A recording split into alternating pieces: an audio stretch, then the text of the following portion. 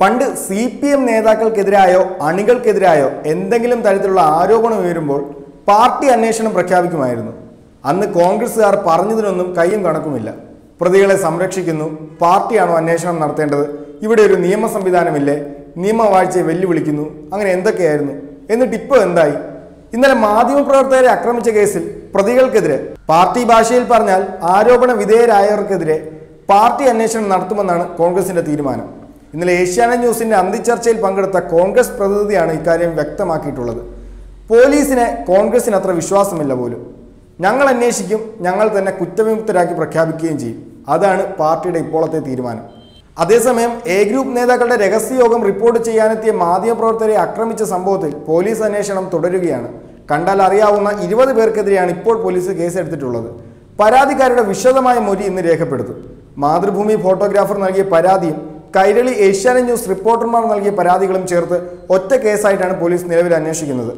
നിലവിൽ D C C മുൻ president U Rajeevan ഉൾപ്പെടെ കണ്ടാലറിയുന്ന ഇരുപത് പേർക്കെതിരെയാണ് കേസ്.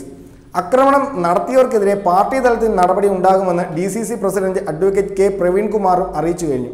പത്തൊൻപതാം തീയതി റിപ്പോർട്ട് കിട്ടിയ ശേഷം കുറ്റക്കാർക്കെതിരെ നടപടി ഉണ്ടാകുമെന്നാണ് ഡി സി സി നേതൃത്വം അറിയിച്ചിട്ടുള്ളത്. ഇന്നലെ രാവിലെയാണ് കോഴിക്കോട്ടെ എ ഗ്രൂപ്പ് നേതാക്കളുടെ രഹസ്യയോഗം റിപ്പോർട്ട് ചെയ്യാനെത്തിയ മാധ്യമപ്രവർത്തകർക്ക് നേരെ കോൺഗ്രസ് പ്രവർത്തകരുടെ കയ്യേറ്റമുണ്ടായത്. മുൻ D C C president U Rajeevan മാസ്റ്ററുടെ നേതൃത്വത്തിൽ ടി സിദ്ദിഖ് അനുയായികളാണ് യോഗം ചേർന്നത്.